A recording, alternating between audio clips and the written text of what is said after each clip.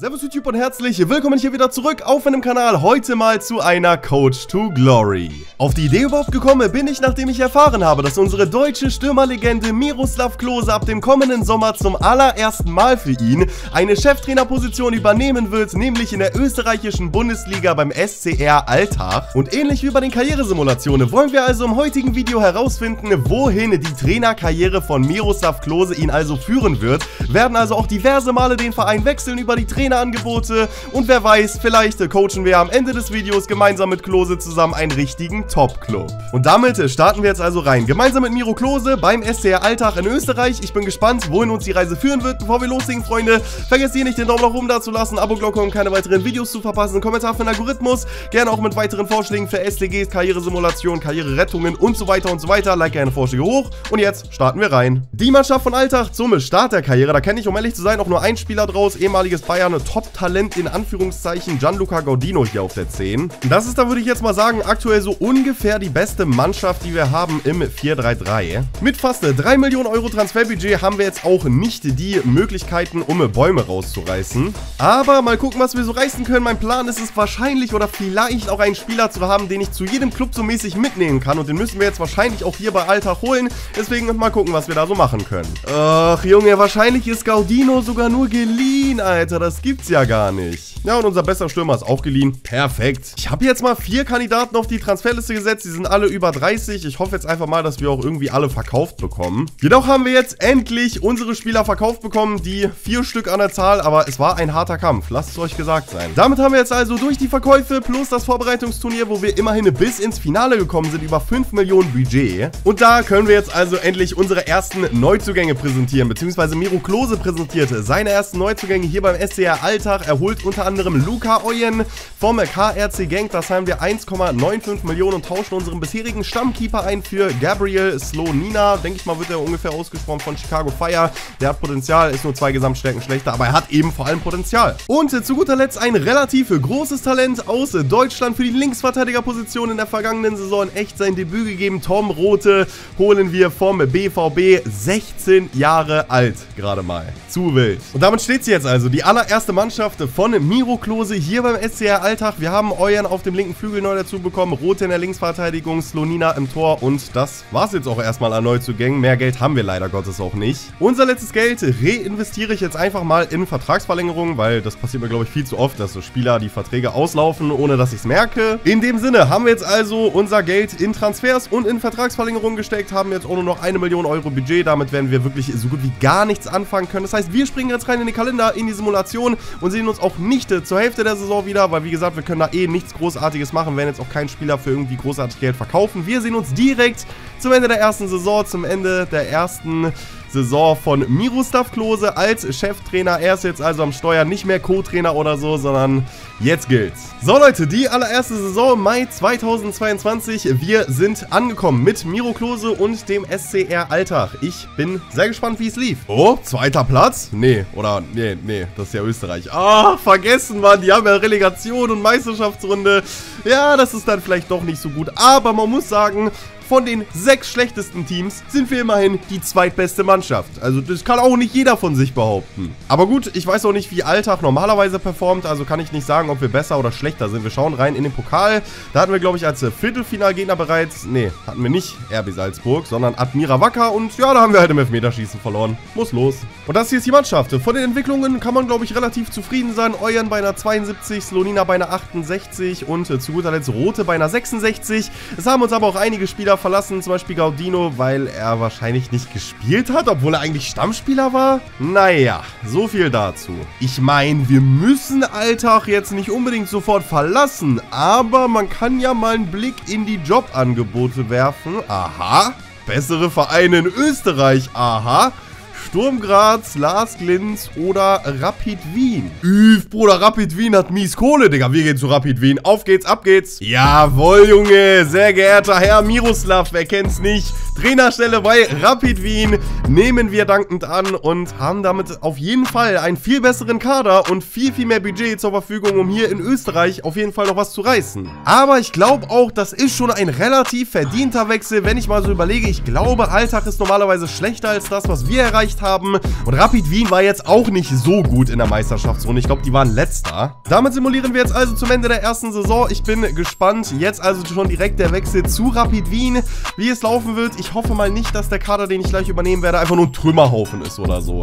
Na dann schauen wir mal, was noch so übrig geblieben ist. Wir haben unter anderem Yusuf Demir, das ist stabil, 74er Gesamtstärke, Hofmann in der Innenverteidigung 71, auch nicht schlecht. Ansonsten halt, ja, wir haben nicht mal eine Reserve. Ey, warum haben wir nicht mal eine Reserve? Och, Mann. Ja, das war's komplett. Ich darf auf jeden Fall keinen Spieler gefühlt verkaufen.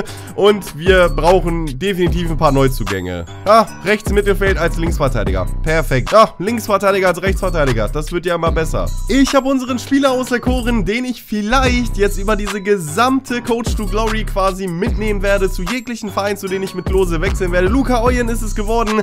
72er Gesamtstärke, linker Flügel brauchen wir, glaube ich, so oder so. Passt ganz gut rein. Wir zahlen 4 Millionen und Arase, keine Ahnung, wer das jetzt ist, Obendrauf noch im Tausch ist ein Flügelspieler, so viel kann ich sagen. Und damit machen wir den Deal perfekt. Also ich weiß ja nicht, was bei Rapid Wien hier vorher abging, aber Marco Gröll, einer unserer besten Spieler, Flügelspieler, will seinen Vertrag nicht verlängern. Also wollte ihn nicht. Wir haben ihn jetzt um ein einziges Jahr verlängert. Wahnsinn. Einen neuen Stürmer braucht es, da werden wir wieder mal beim BVB fündig. Ein weiteres Top-Talent, welches wir verpflichten, welches Miro Klose verpflichtet, nämlich in dem Fall Yusufa Mokoko, der jetzt hier zu Rapid Wien kommt. Für die Torhüter-Position, da brauchen wir auch ein saftiges Upgrade und dieses heißt Martin Wandewort. Wieder mal vom KRC Gang, da trifft er auch auf einen alten Kollegen, nämlich Luca Oyen. Ein Positionswechsel, auf den ich gespannt bin, Thorsten Schick, der hat Werte wie ein zentraler Mittelfeldspieler, wenn man sich das Ganze mal so anguckt.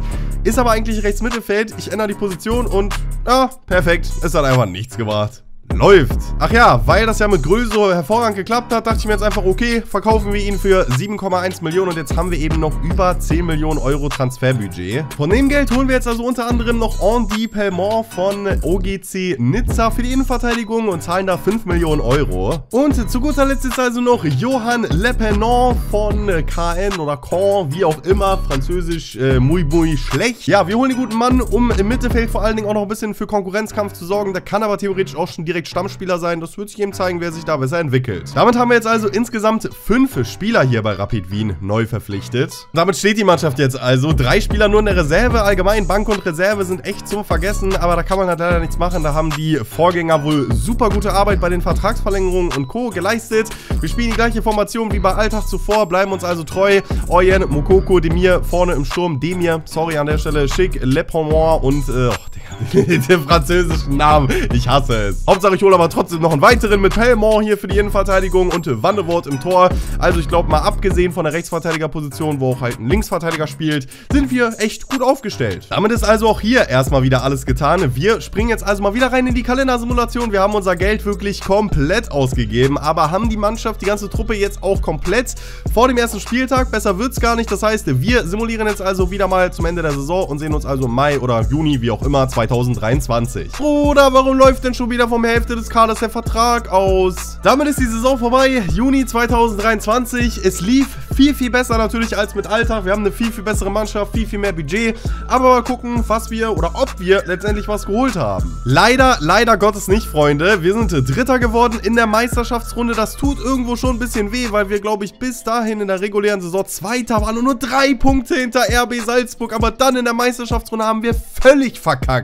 Komplett Tordifferenz bei 0, 13 15 Punkte hinter Lars Linz, die sogar vor RB Salzburg Meister werden. Also das hätte eigentlich unser Jahr sein müssen. Muss man ganz ehrlich einfach sagen, wie es ist. Wir haben verkackt. Obendrauf waren wir dann sogar im österreichischen Pokalfinale und dann wieder gegen Lars Linz 3 zu 0 zu verlieren. Oh, Junge, das tut so im Herzen weh. Davor Salzburg besiegt und Admira Wacker und dann Lars Glinz, Digga. Als ob sich so eine Mannschaft, schaut euch das Ganze an, Euren bei einer 76, Mokoko genauso, Demir hat sich auch mal wieder geschrafft, Pelmore bei einer 77, Wandewort, unser bester Spieler mit 78. So eine Mannschaft, die gewinnt einfach nicht in Österreich. Der absolute Wahnsinn. Also vor allem nicht den Pokal gegen Lars Glinz. Also also ich verstehe hier gar nichts mehr. Ey Leute, eigentlich hätte ich schon Bock, eine weitere Saison mit Rapid Wien zu machen, aber auf der anderen Seite habe ich bei den Jobangeboten gesehen, dass wir da echt geile Vereine haben, nämlich Ajax Amsterdam oder zum Beispiel auch Feyenoord Rotterdam, PSW Eindhoven. Also das sind schon echt geile Optionen und ich glaube, ich würde auch tatsächlich nicht Ajax nehmen wollen, weil wäre, glaube ich, auch ein bisschen zu einfach. Da würde ich mich wahrscheinlich für Eindhoven entscheiden. Da war ja auch unter anderem bis vor kurzem noch Roger Schmidt, deutscher Trainer, deutsche Spieler sind am Start, Mario Götze und Co Co. Also wollen wir Ajax mal ein bisschen attackieren, würde ich sagen. Und da haben wir es jetzt also. Trainerstelle bei PSW Eindhoven. 17.000 die Woche ist, glaube ich, ein bisschen weniger sogar, als wir bei Rapid Wien verdienen. Soll mich aber nicht interessieren, weil das Upgrade von, Eind äh, von andersrum, von Rapid Wien zu Eindhoven und von österreichische Liga zur Eredivise, das ist schon wirklich massiv und dementsprechend machen wir es also perfekt. Und Miroslav Klose wird neuer Trainer bei PSW Eindhoven. Interessanter Kader, um es mal vorsichtig auszudrücken. Ah, ja, perfekt. Spieler wie Götze und Co. sind weg und dafür ist der Kader auch mal wieder übelst klein.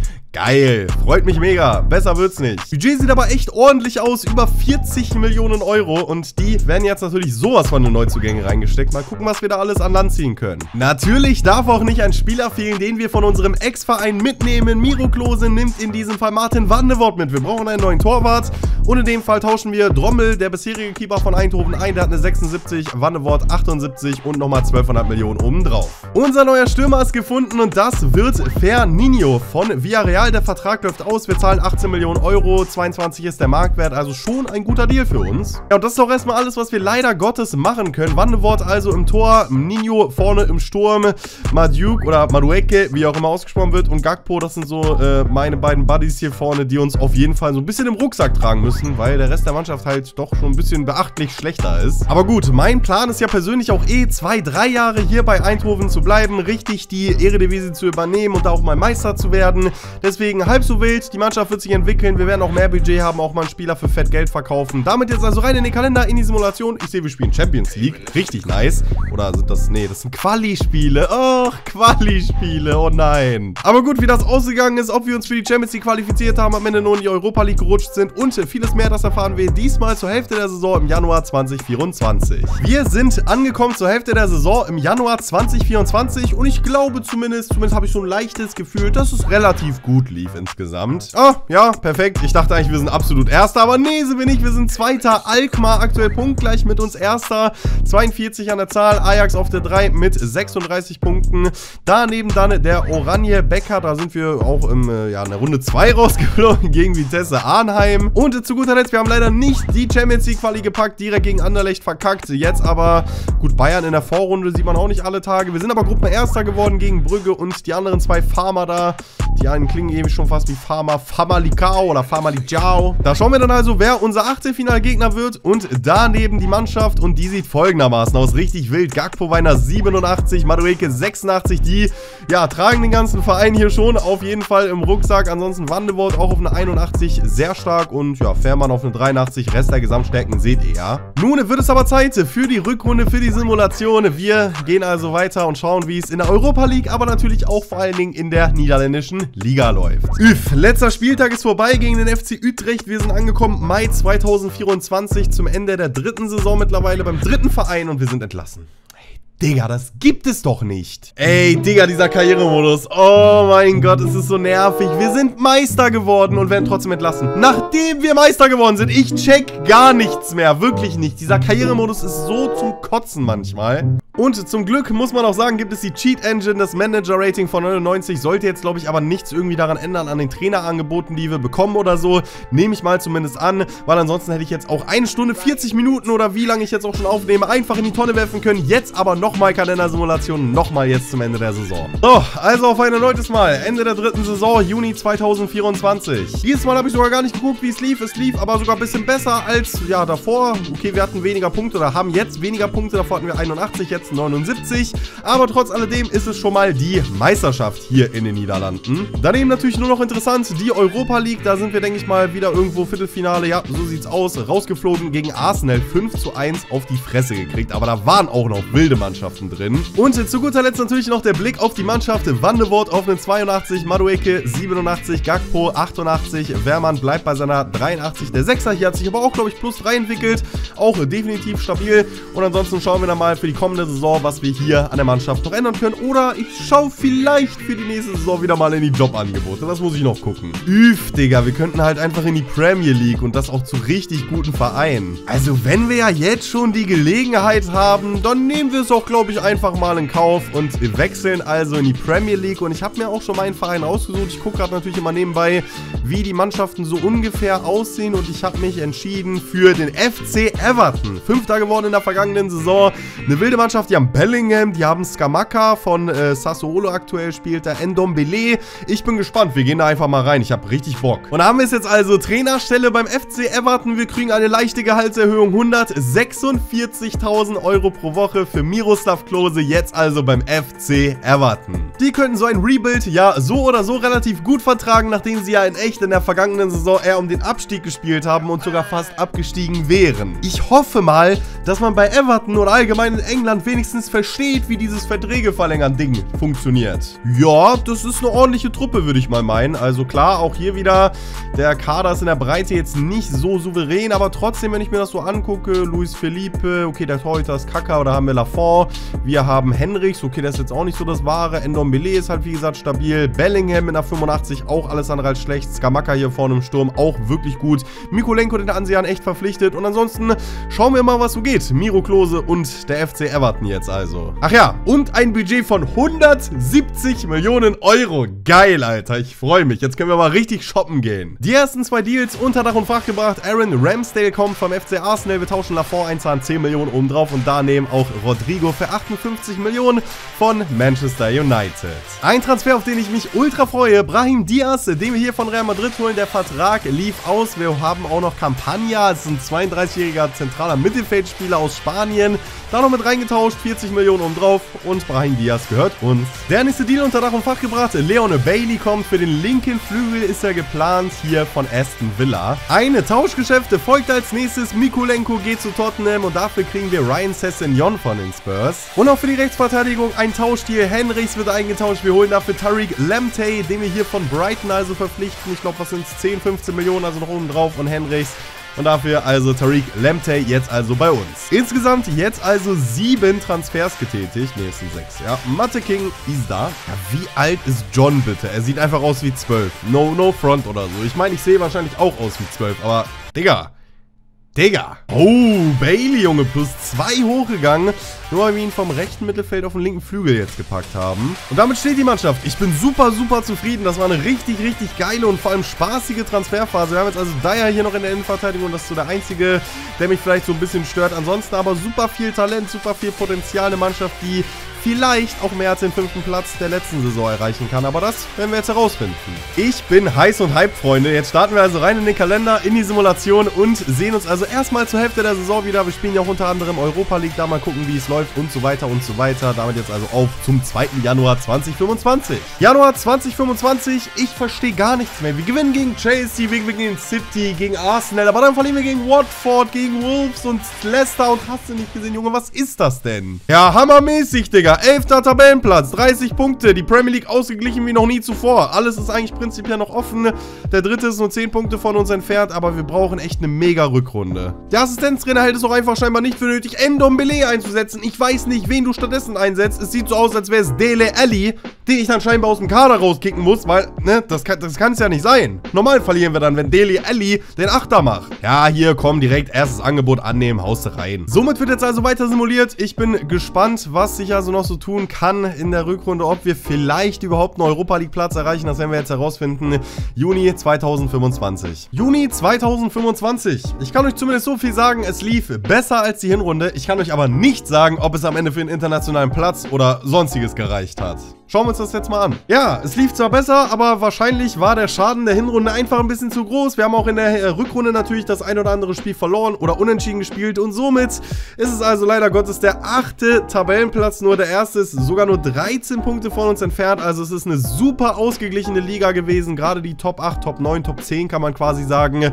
Aber das heißt, nächste Saison keine Europa League, keine Champions League, kein internationales Game, sondern ja, einfach nur Premier League und alles, was so zur englischen Liga und Pokale und hast du nicht gesehen dazugehört. Ach ja, Thema Pokale im FA Cup, glaube ich, relativ früh geflogen, in einer der ersten Runden geflogen. Ja, hier Runde 4 gegen Oxford. Carabao Cup lief da nicht besser, Runde 3 gegen Watford. Und zu guter Letzt die Europa League, da sind wir sogar bis ins Halbfinale gekommen. Neapel, da war dann aber leider Schluss.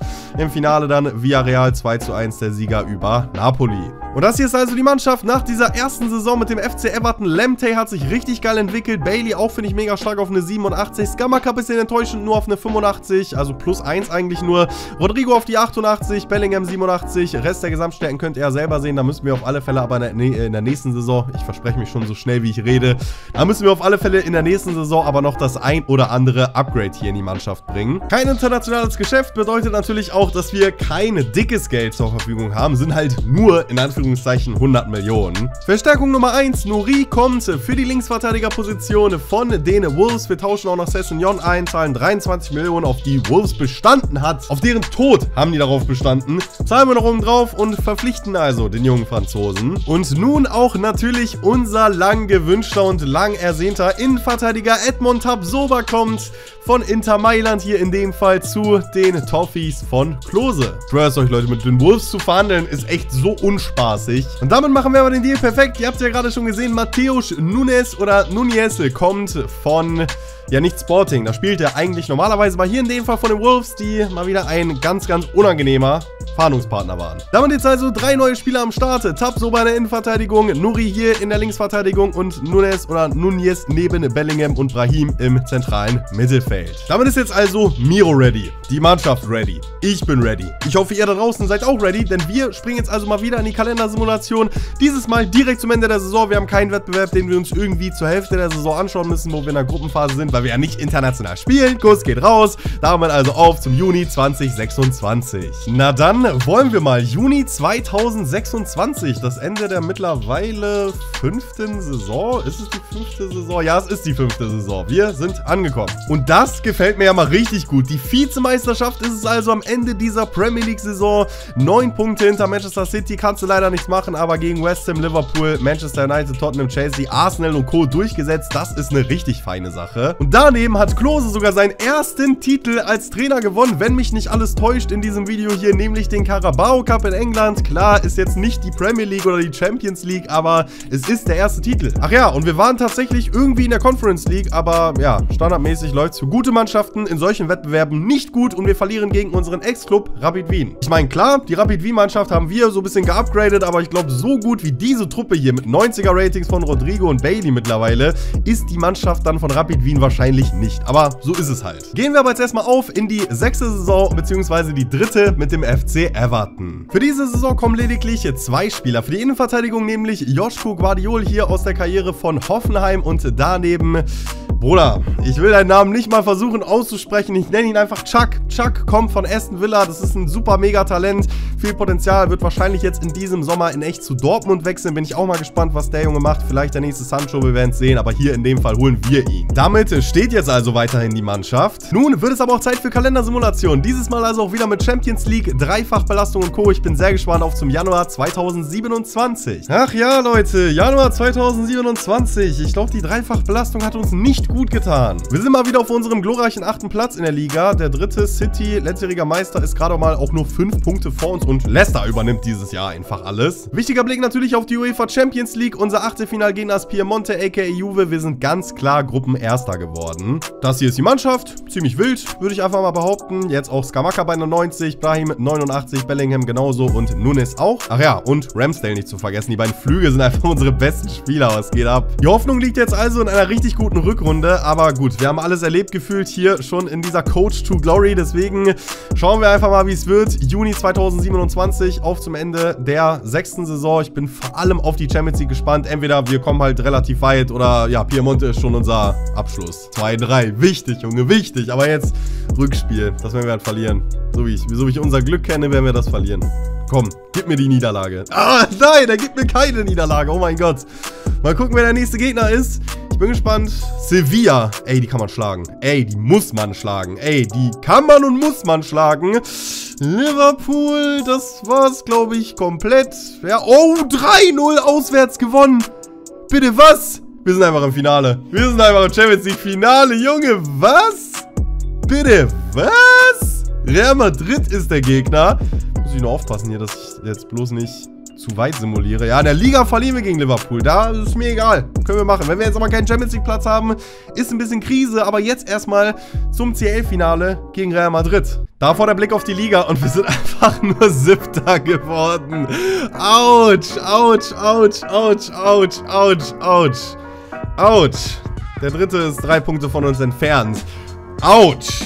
Autsch, Autsch, Autsch, habe ich schon Autsch gesagt? Ja, es tut ziemlich doll weh. Dafür aber den FA Cup gewonnen, das nehmen wir auf alle Fälle mit. Carabao Cup bis ins Viertelfinale kommen, da konnten wir leider nicht einen zweiten Sieg in zwei Jahren feiern und zu guter Letzt die Champions League, ihr habt es ja schon gesehen, Halbfinale ganz knapp gegen Liverpool gewonnen. Viertelfinale auch, ja, 5-3 gegen Sevilla, nicht mit Ruhm bekleckert und zu guter Letzt davor auch 5-3 gegen Piemonte. Och nee, Rodrigo ist verletzt fürs Finale. Ja gut, könnte schon schlimmer aussehen. Wir haben auf alle Fälle nicht die besten Karten. Heimspiel für Real Madrid, die Mannschaft Mannschaft, von denen auch alles andere als verkehrt. Mit Barella, Valverde, Vinicius natürlich. Campagna ist auch am Start, der noch von uns kommt. Chlojek, äh, ja, Bremer, Bremmer, wie auch immer, Bastoni. Also es ist schon echt eine stabile Truppe. Ja, und auch noch Heimspiel für Real Madrid. Also eigentlich alle Karten gegen uns, aber wir gehen rein in die Schnellsimulation, hoffen einfach mal aufs Beste. Wir stehen auch nicht ohne Grund im Champions League Finale und gewinnen dieses also auch mit 2 zu 0 gegen Real Madrid. Und der Kollege, der statt, des, ja, statt Rodrigo spielt, hat einfach mal das 1 zu 0 gemacht. Bester Mann, was soll ich sagen? Ja, und damit sind wir irgendwo schon auch so ein bisschen auf dem Fußball-Olymp, kann man sagen. Der zweite Titel für Miro Klose, jetzt also schon der Henkelpot. Gut, Leute, ich glaube, ich würde mal behaupten, dass wir jetzt hier mit dem Champions League-Sieg irgendwo, wie schon gerade eben erwähnt, ein Olymp erreicht haben. Und klar, es wäre natürlich auch noch schön, mehr Titel zu gewinnen. Aber ich habe zumindest so das Gefühl, hier auch Trainer des Monats geworden. Klar, die Liga war eine Katastrophe. Dass wir aber irgendwo am Ende dieses Videos angekommen sind. Es ist quasi auch so ein erster Testlauf kann man sagen. Wie ihr das Ganze findet, schreibt es mir gerne unten in die Kommentare. Lasst dem Video einen Daumen nach oben da, wenn ihr eben solche Art von Videos feiert, wo wir so eine Karrieresimulation machen, aber eben mit einem Trainer und den richtig erfolgreich machen wollen, bis zum Champions League Sieg, Premier League Sieg, Bundesliga, Meisterschaften, Titel und so weiter und so weiter. Lasst mich, wie gesagt, in den Kommentaren wissen. Abo-Glocke nicht vergessen, um keine weiteren Videos zu verpassen. Und das sollte an der Stelle tatsächlich gewesen sein vom heutigen Video von der Coach to Glory mit Miroslav Klose. Beim SCR Alltag begonnen, beim FC Everton und zwei Titeln, unter anderem die Champions League, enden wir das Ganze. Also das soll es gewesen sein. Ich hoffe, es hat euch wie immer gefallen. Ich verabschiede mich, wünsche euch einen wunderbaren Tag und wir sehen uns dann in alter Frische wieder. Bis dahin, haut da rein und ciao.